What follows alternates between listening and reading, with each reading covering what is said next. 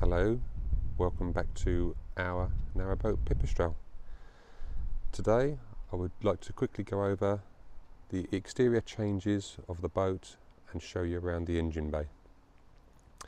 When Sea Otter made their boats, they made the handrails, the sides of the boat and the gunnels all the same colour. Because this boat is 15 years old and once I took the name off the side here, you could see where the sun had weathered it. There was a few scratches from people stepping over.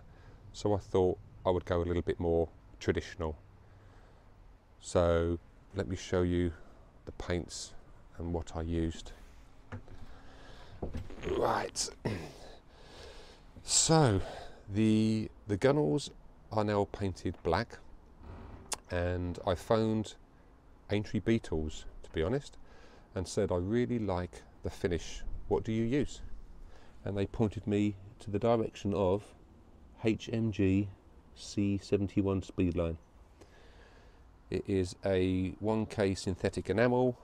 I masked up where I needed to. I used a Scotch-Brite pad to roughen the surface and two coats of C71 and it looks more traditional now. I didn't like it all being the same colour even if it was good condition. I wanted uh, to be a little bit different. So the the little button on the front of the boat and also the handrails they was all blue. I didn't like that either. I wanted a bit more colour. So for that I used International pre-coat in white. So I masked up. I used a Scotch-Brite pad the same as the gunnels I roughened the surface one coat of pre-coat in the morning by late afternoon I had used one coat of Rothschild Red, Top Black 011, and the next morning I let that cure and set, and late morning I done a second coat. Two coats of this I think is more than enough. Over time you could probably add more coats and build it up, but uh, initially two coats was fine. To touch up some of the paints on the rest of the boat, I managed to get a colour match done from Paint Man, and that is a royal blue BS 106 royal blue. I did look at the original paperwork from when the boat was new 15 years ago and it was called midnight blue. I bought some midnight blue. It was nothing like it at all so the names weirdly the names changed. Um, even the, the code wasn't the same. So but that's correct now. So all I've used that for at the moment is the gas locker lid and I think I might have done a couple of touch-ups but not a lot because the rest of the bodywork I just polished. So as we walk down to show you the engine once I painted these handrails I just fitted some silicon tube cut some sections just stops the brand new paint not getting chafed up by the fender ropes okay let's step onto the back of Pipistrelle and show you the engine bay. Right, let's hope I don't fall. So here we have a three cylinder Nanni 21 horsepower diesel engine. Nice and quiet once the boards are on, nice and economical. I've cruised about 45 hours over the summertime and I think I've used probably not even quite a third of a tank of diesel and it's a 75 gallon tank it's really economical, really quiet, fantastic little engine. On the top there you'll see some water hoses. So it takes water from the engine, heats up into the calorifier and also that is 240 volt powered as well. Online, shoreline, it's about an hour.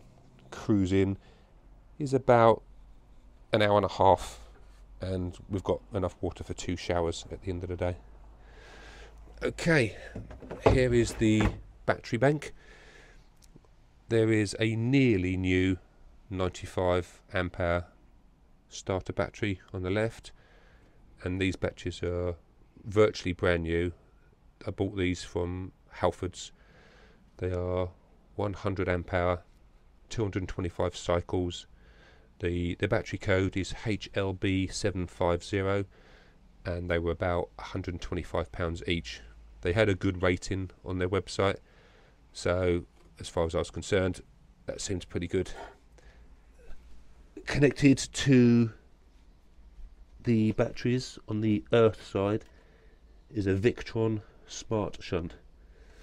That gives data drawn from the battery onto a app on your phone or your tablet and it's really good for seeing the state of your batteries, what you've got left, what you've used, how many days at the current use. I think that's really good. That with the smart solar charger and um, monitor, I think it's 7515 and they both are linked together and all the data's available on their app. Okay, let's go back to when we got the boat eight months ago. We had a survey done, and the survey had picked up that the there was about one inch, one inch, sorry, one millimeter movement in the drive shaft. So I wasn't happy with that. I said, let's get her in the dry dock and we'll have a new cutlass bearing. Little did I know that the engineer was searching high and low and could not get a 50, 25, 120 cutlass bearing. They weren't available anymore. Sea Otter must have made their own, and yeah, they ceased to trade a few years ago. So the only option I had was to increase the inside diameter of the cutlass bearing and go with a bigger drive shaft. So it was quite a lot of money, but once that was fitted, I said, let's put a new PSS dripless seal. Uh, well, I had to anyway. I was going to, even if I could get a normal cutlass bearing, but because I had to upgrade, there was no choice anyway. And these are fantastic. You don't have to pump grease, you don't have to do nothing. And I've had absolute faultless performance in the 40 odd hours that we've been cruising. When they fit them brand new, sometimes they're known to screech a little bit. You just pull the bellow back, let a tiny little bit of water wash the surface, and um, and they they quieten down. But I've not had a problem at all. So there's a stainless steel ring, a graphite section that's fitted to the bellows. The stainless steel spins on the shiny surface of the graphite, and that's the seal. I've not had a single problem. It's absolutely fantastic. So looking to the port side, under here is a Sterling 40 amp battery charger. So often during the night time that will go on but in the daytime, as soon as the sun is out, the battery gets turned off. I disconnect the shoreline and the solar. I use the solar. It's free energy. Might as well use that. Let's let's just quickly show you a product that I've started to use. This is no way a, a, um, a paid promotion or nothing, but I used these on motorbikes many years ago. ACF 50. It's an anti-corrosion formula, mainly for aluminium.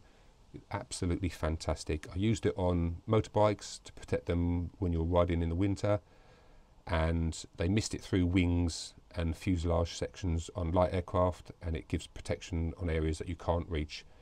I've used it on the bow section, the gas locker. I've yet to use it in here. As I say, it's just something that I really, really recommend, and it's certainly not paid whatsoever. It's just fantastic. That's the PSS dripless seal. Now what I want to quickly show you as we're towards the, the rear of the boat, let's prop open this little cover, is the bilge, the bilge section on a Sea Otter. Because they use water ballast and not bricks like traditional boats, they have such a tiny little bilge area. So there's three areas to check your bilge one in the wet room, one in the bow section on the port side, and then slightly starboard side underneath the back step. So we move this little cover, and there is a one inch depth in what would be considered the bilge. It's totally dry. That is it. How weird is that? So they use one inch section as part of the, the, the flooring of the boat for rigidity, and in between those sections there's bits of wood and obviously they fit the floor to that wood so not that you need to do any work on the floor but if you do you certainly don't want to go much further than an inch because you'll be drilling into the base of the boat and they use water, so you don't want water coming through and sinking your boat. So, thank you very much for coming along again. I hope to do other videos of different things. So, if there's anything particular that you'd like me to mention or show you, then please leave a message. Otherwise, more vlogs will follow soon. Take care. Bye for now.